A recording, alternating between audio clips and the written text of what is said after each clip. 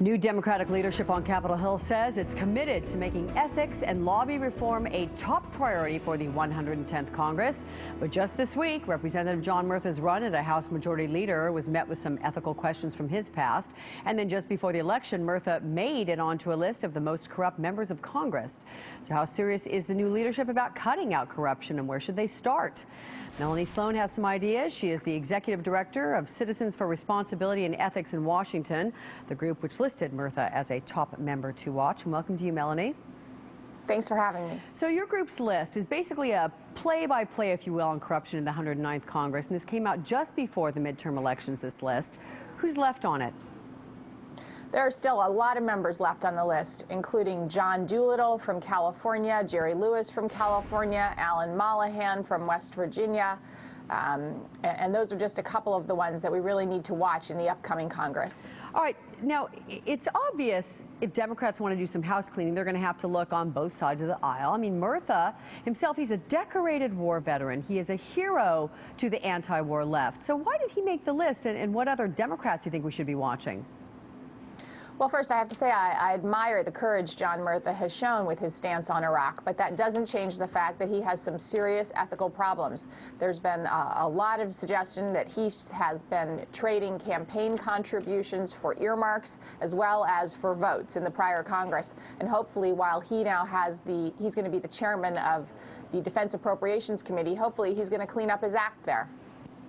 But uh, other Democrats, though, I mean, John Murtha is not the only one on your list.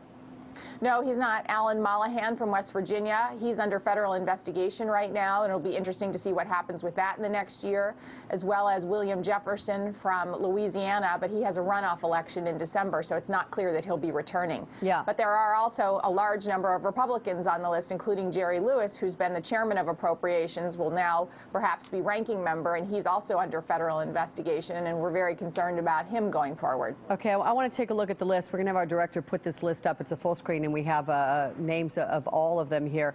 Uh, people voted out of office here. Let's look at this. From the Senate, Conrad Burns, Bill Frist, Rick Santorum. I mean, they were all Republicans, none returning for the 110th Congress. What do you make of this? I, I, make of this that people were very concerned about corruption this, this last election. There were some exit polls that showed that corruption was the leading issue for folks, even above Iraq. And it's not just those senators who are gone. There are several members of Congress who also lost their seats, including Richard Pombo from California, John Sweeney from New York, J.D. Hayworth from Arizona, Don Sherwood from Pennsylvania, and Curt Weldon from Pennsylvania. He, there's some other interesting Republicans on your list, and we're talking about Roy Blunt. He makes the top 20, and he was also elected yesterday to serve as the minority whip for the 110th Congress. Are, are you surprised at all by his election? And I'd like to know the charges against him, because I'm not real familiar with that. Sure. Roy Blunt has uh, been had a long history of he's what we we call our all in the family program. He uses his position in Congress to financially benefit his family. Uh, his wife is a lobbyist, one of his sons is a lobbyist, and they have all benefited from his legislative his, their clients have benefited from Roy Blunt's legislative assistance.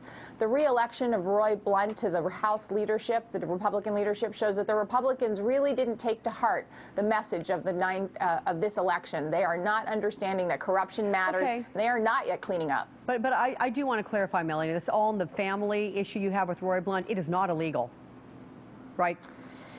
Uh, it is not illegal, but there are House rules that say you're not allowed to use your position to financially benefit your friends and family. So it does violate okay. House rules. All right. Melanie Sloan, Executive Director of Citizens for Responsibility and Ethics in Washington, thanks for your time.